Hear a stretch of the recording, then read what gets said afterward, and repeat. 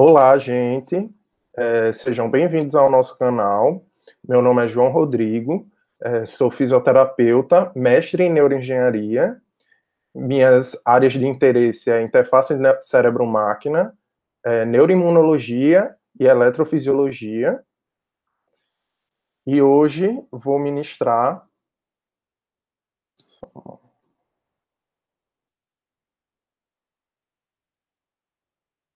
E hoje eu vou ministrar o curso oferecido pela Brain Support.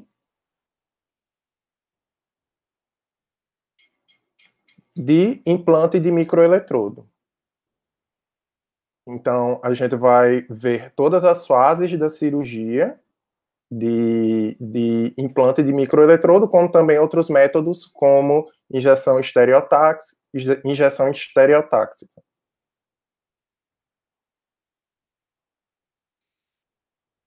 Então, a neurocirurgia é um método, é, um método cirúrgico que visa restaurar algum tipo de disfunção patológica é, do sistema nervoso ou investigar o próprio sistema diante de algum tipo de situação.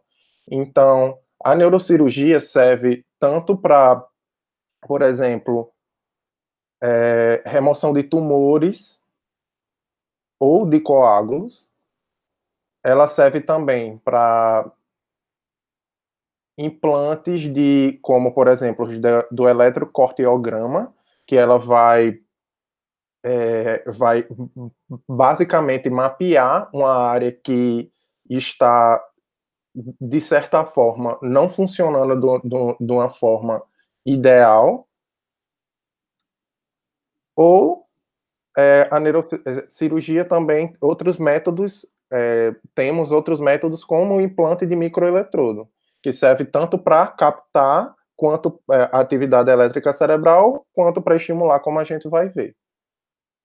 Bem, em relação à neurocirurgia é, para modelos animais, ela é mais utilizada é, justamente né, no meio de, de pesquisa, né, justamente é, para captar atividade elétrica cerebral, seja para estudar um seja para estudar um comportamento de, de um animal ou é, aplicar essa atividade elétrica cerebral, por exemplo, no interface cérebro-máquina. Então, as duas principais áreas assim de aplicação do, do microeletrodo é justamente a gravação, né, que é um método de aquisição é, da atividade elétrica dos neurônios, onde a gente vai conseguir fazer a aquisição do potencial de ação ou do potencial de campo local, né? A gente pode estar tá, é, obtendo outros dados, mas esses dois são os mais importantes. Então, como a gente pode observar aqui na imagem, com o microeletrodo eu posso é, fazer aquisição do sinal de um único neurônio ou de um grupo bem limitado de neurônios, o que deixa o, o meu sinal mais é, bem mais específico. Então, ele tem uma aplicabilidade bem é, mais ampla. Já a estimulação é o contrário, a gente não vai é, fazer a aquisição, mas a gente vai mandar a carga elétrica para uma determinada área, uma área específica do cérebro, é, e eu vou dar mais detalhes lá na frente.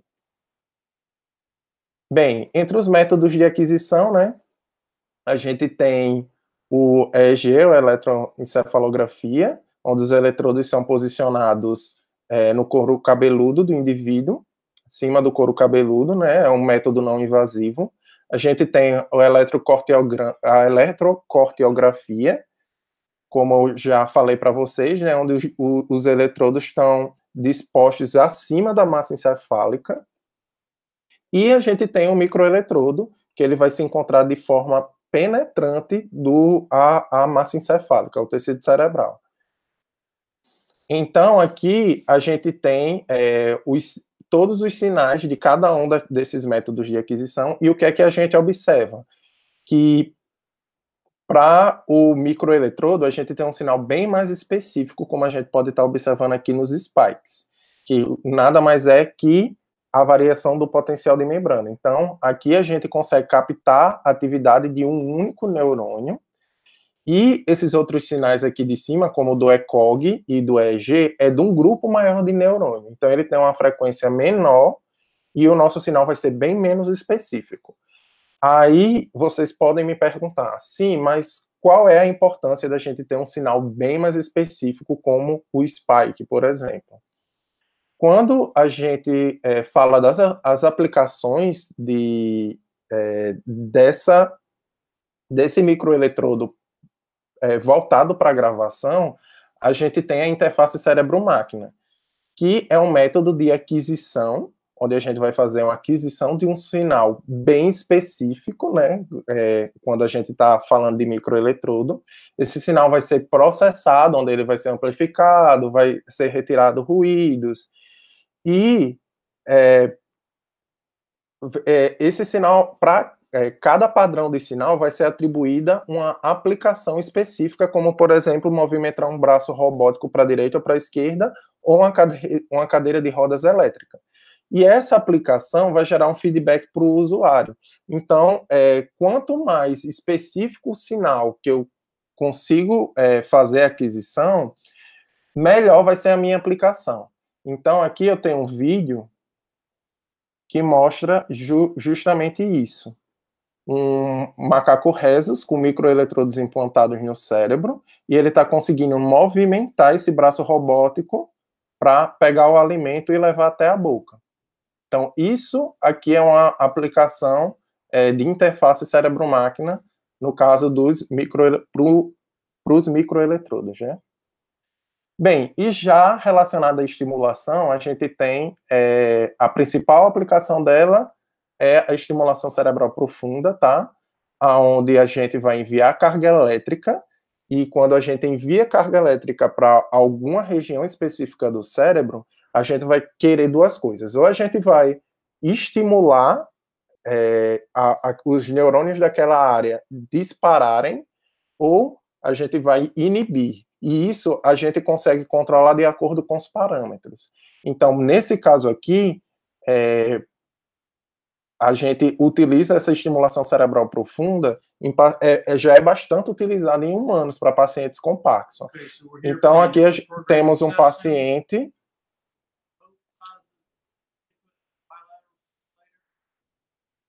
Temos um paciente com é, doença de Parkinson, ele apresenta um, um quadro bem característico da doença de Parkinson, que é o tremor de repouso, e após ligar o aparelho, né, após ofertar a, a eletroestimulação para esse paciente, que ele já está com o microeletrodo implantado, ele para de tremer instantaneamente.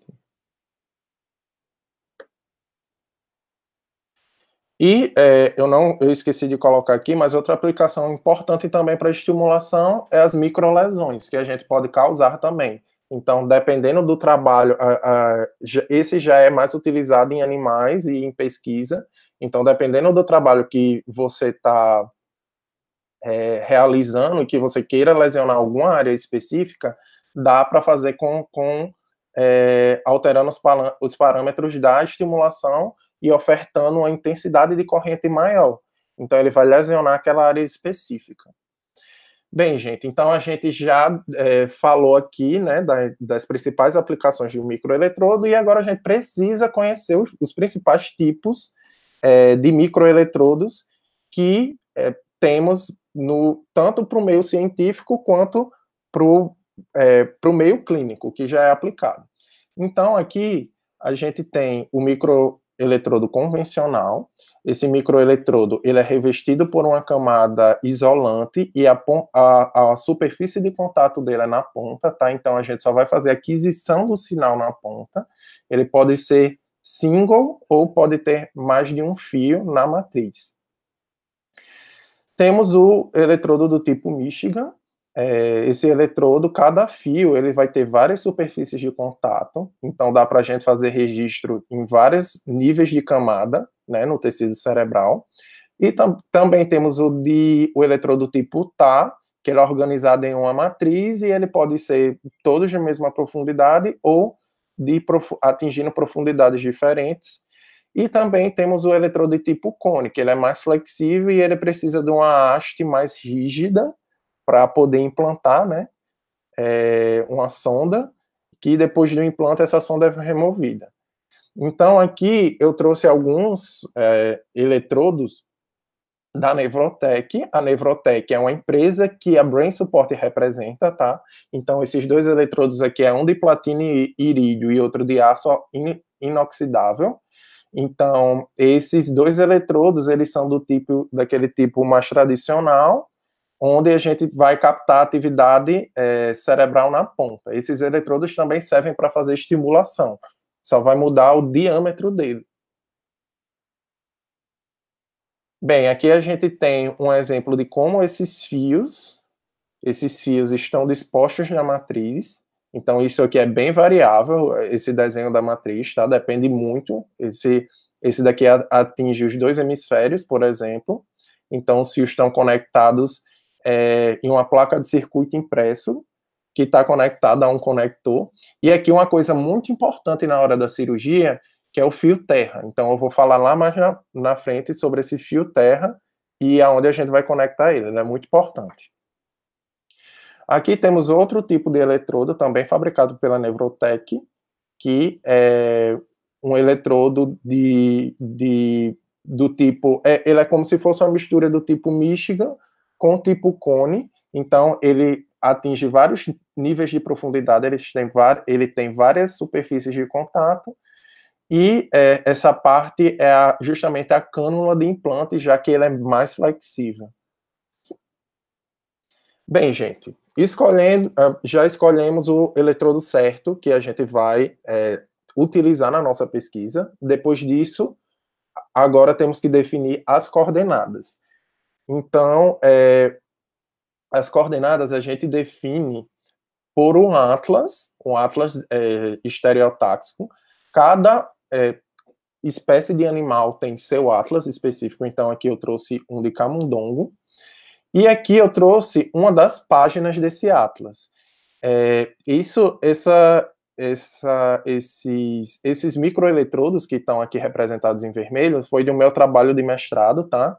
Então eu implantei micro, uma matriz de microeletrodo, uma matriz quadrada, é, no córtex motor, então, para a gente implantar um, um, uma matriz de microeletrodo, a gente, a gente sabe que nosso cérebro é tridimensional. Então, a gente precisa dos valores nos três eixos. No eixo X, que está representado aqui embaixo por essa linha, eixo Y e eixo Z, representado pelo número da página. Então, aqui a gente tem esses três valores que a gente vai colocar em um equipamento chamado estereotáxico, que eu vou explicar mais na frente. Mas é, lembrando que isso daqui é só uma fileira, uma fileira do, do, da minha matriz. Então, várias, cada página equivale a como se fosse vários cortes do cérebro do animal representado em um esquema que dá para a gente ver mais ou menos exatamente aonde o nosso microeletrodo vai ser implantado. Então, definido essas coordenadas antero-posterior, médio lateral e dócil ventral, a gente já pode partir para o, o, implante no estereotáxico. Bem, gente, antes de falar lá da, da, da parte da neurocirurgia em si, né, é importante falar do instrumental cirúrgico, que, assim, é imprescindível. No meu caso, eu gosto muito de fazer como se fosse um checklist, sabe? Um, um checklist mesmo, imprimir um papel com todos os materiais que a gente vai precisar na cirurgia, porque no nosso caso, a gente que é da pesquisa, a responsabilidade é toda nossa, de quem vai fazer a cirurgia. Então, vai lá no centro cirúrgico, checa, vê se todos os materiais estão corretos, checa oxigênio, checa tudo para no, dia da cirurgia não ter problema, não faltar nada. Então, entre os materiais cirúrgicos utilizados, temos todos os tipos de tesoura, é, tesoura hemostática, bisturi, o eletrônico, para quem prefere, é, o, o, bisturi tradicional, né, com a lâmina, fio de sutura, pinça, temos o drill, que a gente vai utilizar para fazer a craniotomia, o mais utilizado é esse redondinho aqui, mas tem vários tipos. Temos é, os parafusos e um fio de aço que a gente utiliza como fio terra, né? Assim, é importantíssimo. Algumas pessoas preferem soldar na hora da cirurgia ou é, não soldar, só amarrar. Mas eu prefiro soldar o fio, esse fio, nesses parafusos cirúrgicos antes da cirurgia, já para não perder tanto tempo lá na cirurgia. Temos as chaves de fendas para colocar parafuso, os parafusos. Temos a, a, a, caixa cirúrgica, que a gente vai colocar todo o instrumental e colocar para esterilizar na, na autoclave. E temos o microeletrodo também, que é, geralmente a gente coloca para ser esterilizado no ultravioleta, com as outras coisas que tem algum componente de plástico. Bem, além disso, é, lembrar de, conton de contonetes estéreo, gás estéreo, é, solução salina, para hidratar o cérebro quando o, é, ele tiver sem a parte do crânio.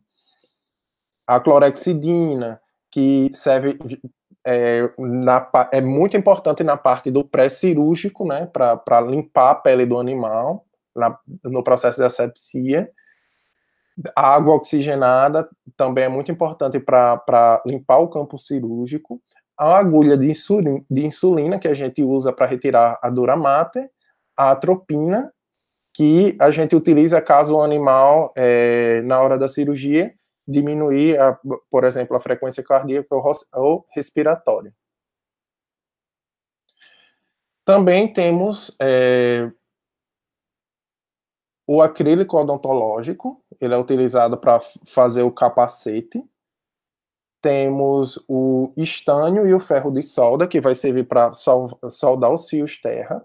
O multímetro, que na hora de cirurgia a gente vai utilizar para testar o fio terra. Eu estou batendo muito na tecla do fio terra, porque realmente é muito importante. Assim, durante o meu projeto, eu perdi dois animais porque teve algum problema é, no aterramento do justamente desse, desse sistema. Então, é muito importante a gente prestar atenção nessa parte do fio terra, do aterramento.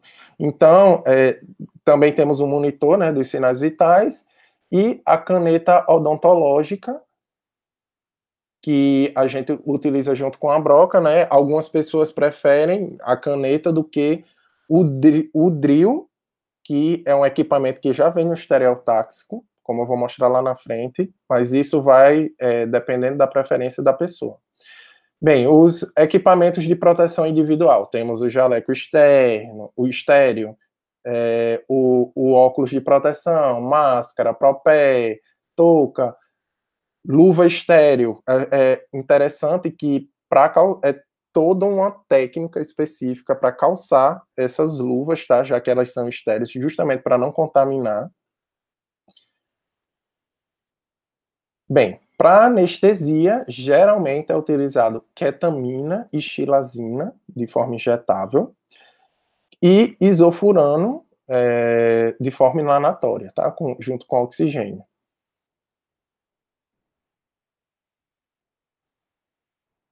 Bem, Conhecendo tudo que a gente vai precisar né, na hora da cirurgia, vamos falar agora desse equipamento que é o estereotáxico, que é um, é um dos principais equipamentos, é o, o, mais importante na hora da cirurgia de implante de microeletrodo. Esse equipamento estereotáxico que vocês podem ver aqui na tela, ele é da Neurostar, essa marca é, a Brain Support também representa. Ele é muito bom porque ele é um estereotáxico eletrônico então, é... deixa eu abrir aqui um vídeo. Ele é todo automatizado. E o estereotáxico, ele é o equipamento que a gente vai setar as coordenadas. Aqui as coordenadas do eixo x, y e z. Então, como vocês podem ver aqui, ó, ele possui hastes é, e uma liberação nos, nos três eixos,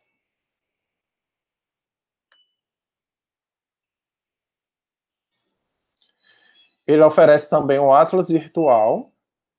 E aqui a gente tem é, uma figura esquemática do crânio do rato. e como ele está disposto no estereotáxico. Aqui a gente tem a marcação do bregma. O bregma será o nosso zero absoluto. Então, lá no Atlas que eu mostrei para vocês, eles consideram zero absoluto de todas as coordenadas no bregma. Então, é aqui que a gente vai ter que dizer no sistema toda a vida é, que a gente for, vai utilizar, a gente tem que calibrar o, o, o sistema antes. Então, aqui a gente diz que ele vai ser o zero das nossas coordenadas. Aqui do lado, ó, como vocês podem ver, a gente tem o, espra, o espaço para colocar o espaço para colocar as coordenadas do eixo x, y e z. Mostrando mais uma vez o atlas e o drill que vem no estereotáxico, que facilita muito é, quando você vai fazer a craniotomia. Então ele está mostrando, demonstrando. Esse crânio é real, tá, gente? Que eles estão mostrando, é um crânio de um rato. Então ele é um, todo automatizado, com a precisão enorme, assim. Ele também faz injeção de, de, de alguma, algumas neurotoxinas ou fármaco, dependendo do que você queira injetar no cérebro. E ele é todo automatizado. Então, isso facilita muito quando você vai utilizar, é, quando você vai setar as coordenadas. Então, em relação às fases do implante, eu vou falar um pouquinho para vocês sobre cada fa fase, e depois a gente vai ver um vídeo que vai ficar mais claro cada etapa. Então, a primeira etapa, né, depois do pré-cirúrgico, da higienização do animal, vem, a gente faz a incisão. A incisão é realizada é, com bisturi na linha média, né? E após a incisão, a gente seta o bregma. Então, a gente faz é, aquela setagem do bregma, como eu falei para vocês. Então, geralmente a gente utiliza uma agulha para setar, tá? A gente não coloca de cara o microeletrodo justamente para não é, ter risco de amassar, alguma coisa do tipo. É, a próxima etapa é colocar os parafusos. Esses parafusos vão servir como aterramento, tá? Então, os parafusos não têm um número específico. Geralmente, o mínimo que tem que utilizar são quatro. Aqui ele colocou é, oito, tá? mas varia muito e os parafusos têm que ser colocados justamente longe da janela, do local onde você vai fazer a, a, a janela e com espaçamento significante entre, um, entre eles, né? E assim, quanto mais parafuso, melhor no sentido de segurar o capacete de acrílico que a gente vai fazer lá na última etapa. Então, depois de colocar os parafusos, a gente vai faz a craniotomia. A craniotomia é realizada de acordo com o eletrodo de referência. Então, você tem a matriz com 32 eletrodos, por exemplo. Um eletrodo você vai escolher para ser o zero absoluto. Então, é, a partir desse eletrodo, você vai ter uma noção de dimensão, mais ou menos, como é que vai ser o tamanho da janela. E vou, a partir daí, você vai fazer, vamos supor, temos um, um eletrodo, uma matriz quadrada. Um quadrado tem é, quatro pontas, ok? Cada ponta, você. É, assim, o ideal é você fazer a coordenada de todos os eletrodos, justamente para você ter a noção de onde cada eletrodo vai ser implantado. Então, é, cada ponta você vai fazer um, um, você vai perfurar né, com a broca e formando um quadrado, que vai ser exatamente o tamanho da janela que vai caber o, o grupo da matriz de eletrodo. Eu acho que está meio confuso vocês imaginarem isso, mas quando vocês virem um vídeo, vai é, esclarecer muita coisa. Depois disso, a gente retira a dura mater, que é uma membrana que envolve, né, uma, é uma meninge que envolve o cérebro. Então a gente retira depois implanta o microeletrodo e faz o capacete com é, o capacete de acrílico. Então vamos lá ver o vídeo.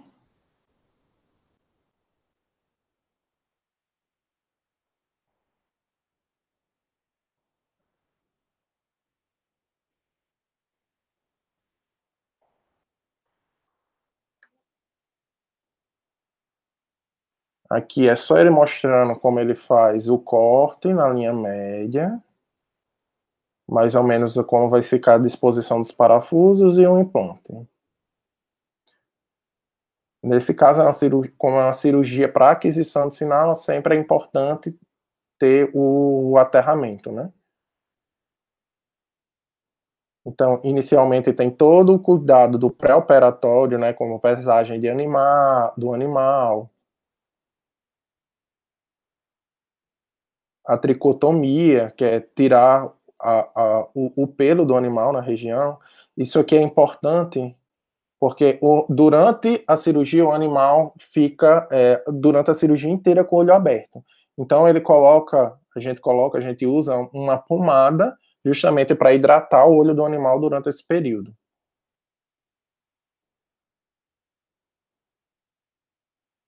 Que ele está tá limpando com clorexidina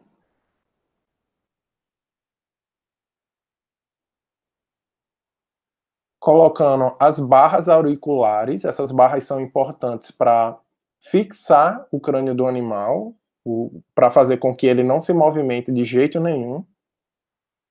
Então tem que regular bem direitinho essas barras, tá? Não pode ser de qualquer jeito também. Aqui o animal está com o focinho preso é, num suporte que vai oferecer o oxigênio a ele e junto com o oxigênio o isoflurano, que é o sedativo que é utilizado durante a cirurgia. Pronto, agora ele está fazendo a incisão.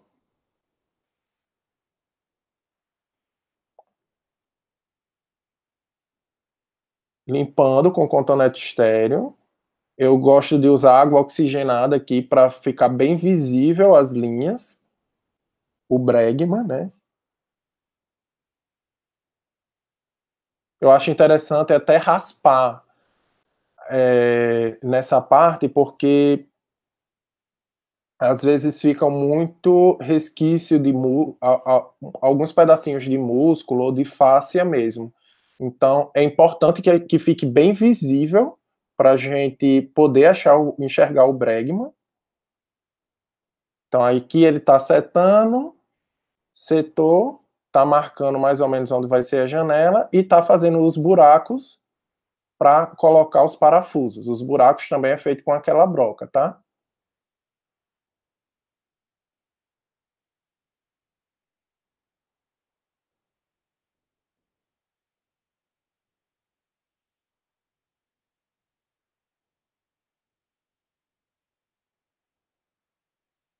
Agora ele está abrindo a janela. Percebam, como eu falei, o nosso, o nosso eletro, micro, a nossa matriz ela é quadrada. Então ele está fazendo quatro buraquinhos.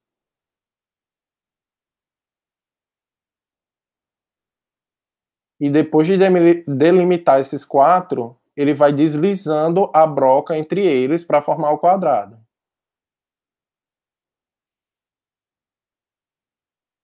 Então ele já retirou a, a parte da caixa craniana, tá? O cérebro aqui já está exposto. E agora ele está retirando a dura mater. Ele não mostrou antes, mas a gente tira justamente com. É, a gente entorta a ponta do, do, da seringa, né, de insulina, que é a seringa mais fininha, e rasga com todo cuidado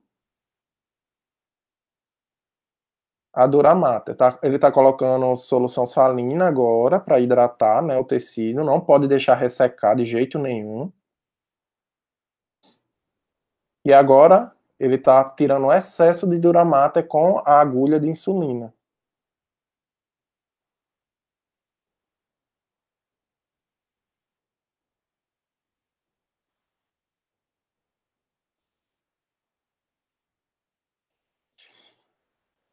Aqui ele está é, colocando os, o fio terra nos parafusos.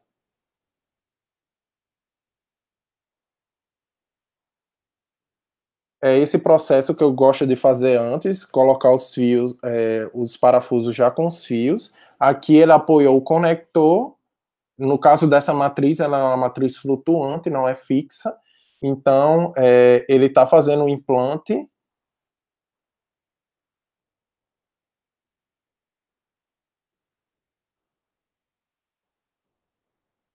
Por isso que os fios estão tortos, justamente porque essa matriz é, é flutuante, tá?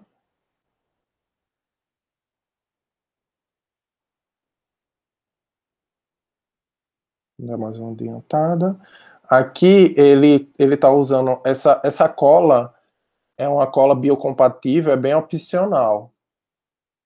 Mas dá para utilizar o acrílico. O acrílico é um pozinho que ele vem separado de, um, de uma substância que quando eles do, é, é, essa substância é, entra em contato com o pó, forma essa massinha que seca muito rápido. Então essa massa a gente molda e forma o, o capacete.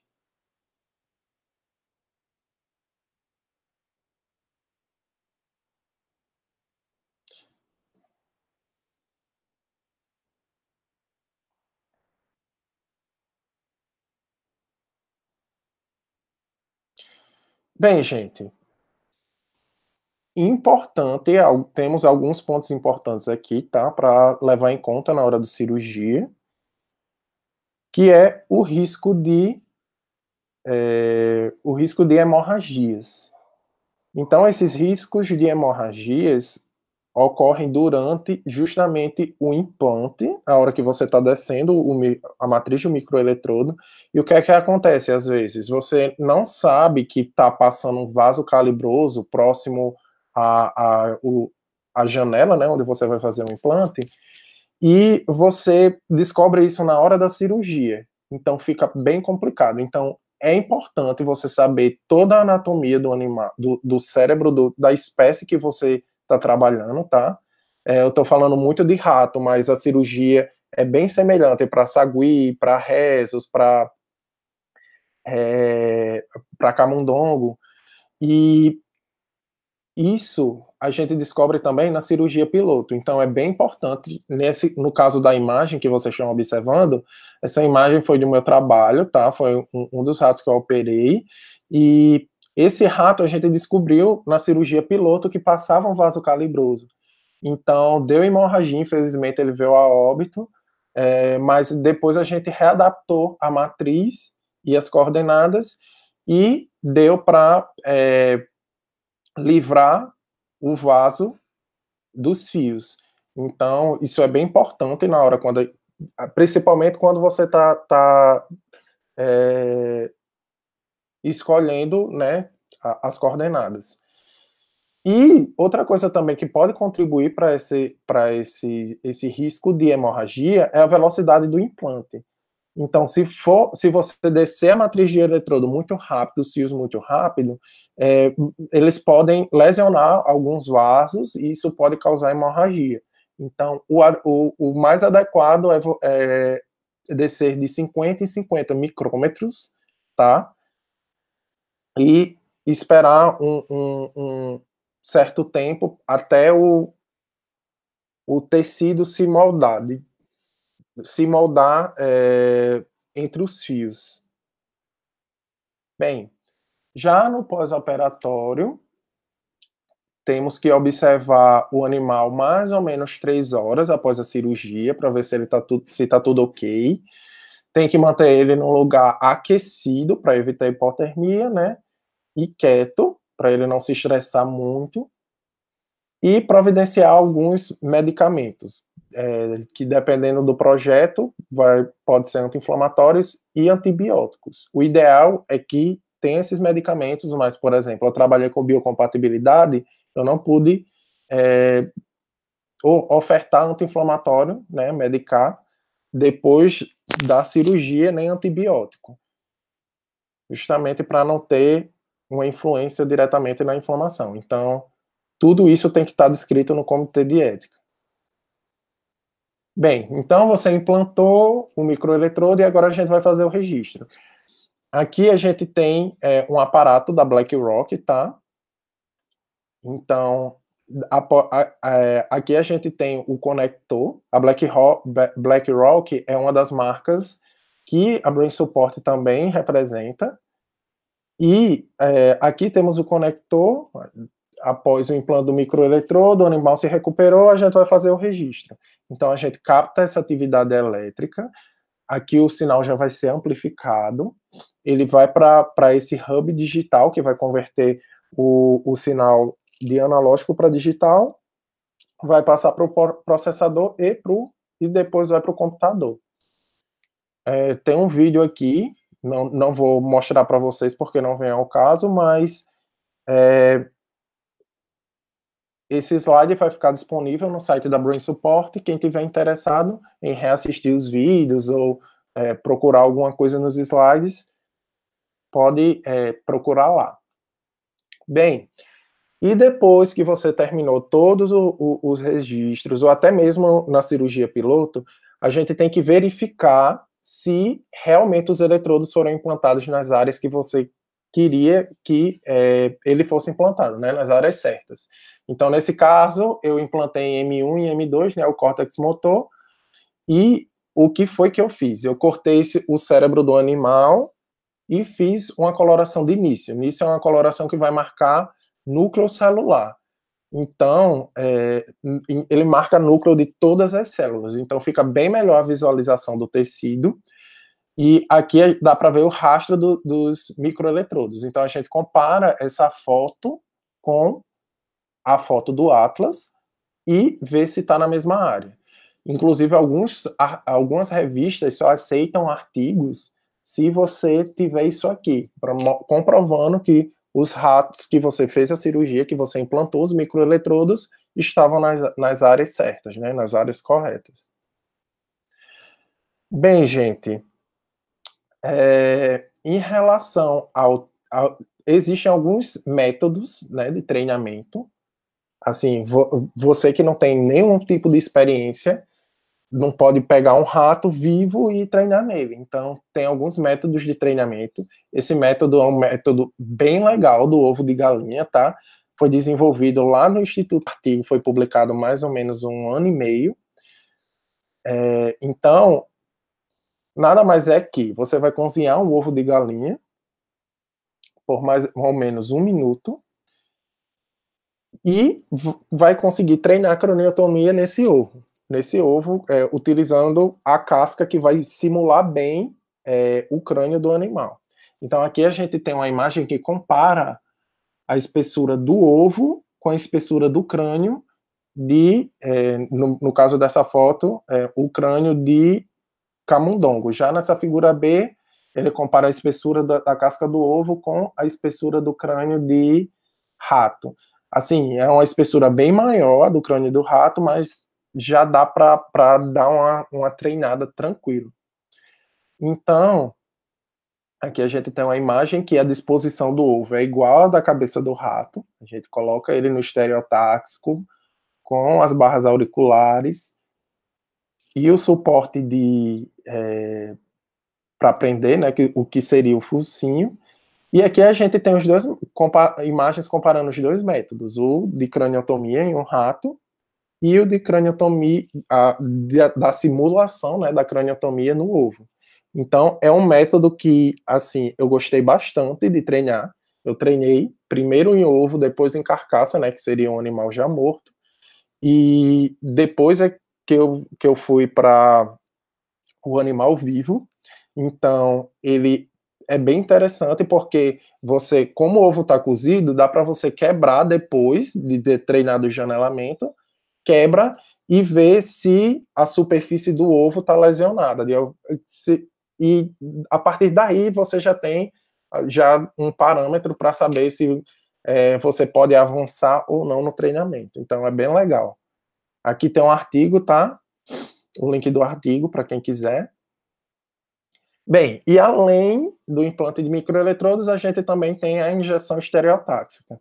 A injeção estereotáxica é utilizada é, pode ser utilizado tanto injeção de vírus, né, para causar alguma lesão, quanto de soluções, é, que é bastante utilizado salina, por exemplo, para ser o controle, como medicamentos ou neurotoxinas para também causar lesão.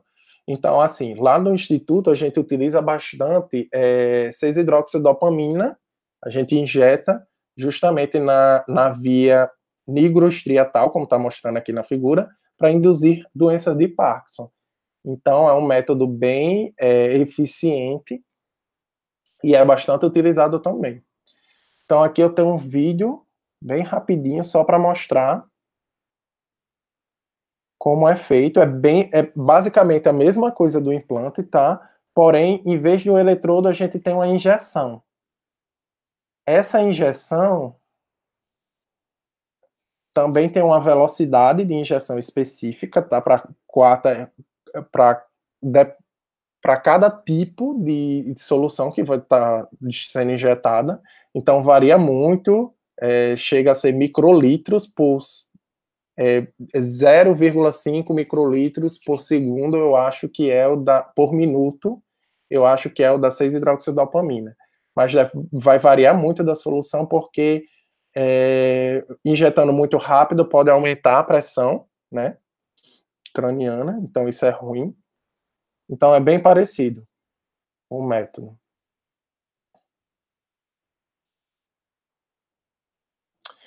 Então é isso, gente. Chegamos ao fim de mais um curso.